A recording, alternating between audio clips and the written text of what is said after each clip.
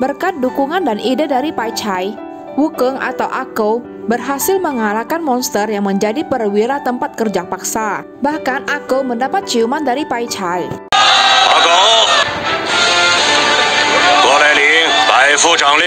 Akhirnya Ako berhasil menjadi seorang perwira.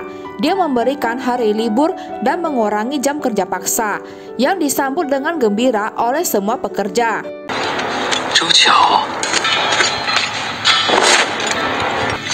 你还去偷？ Setelah menjadi perwira, musuh lama Wukeng yaitu Zhou Qiao malah muncul di tempat ini. Untungnya Zhou Qiao tidak bisa mengenali Wukeng. 再继续这样下去，我们谁都走不了了。我要把这个矿场搅乱，生怕被那个吃人怪给掳走了。 Dengan kehadiran Zhou Qiao, maka Ako harus mempercepat rencana untuk kabur dari tempat ini. Ako menyamar menjadi siluman pemakan manusia. Dia berpura-pura menangkap lalu memakan para pekerja, padahal diam-diam dia melepaskan mereka. Tindakan dia ini berhasil membuat keseluruhan tempat ini menjadi kacau balau dan membuat semua orang menjadi ketakutan.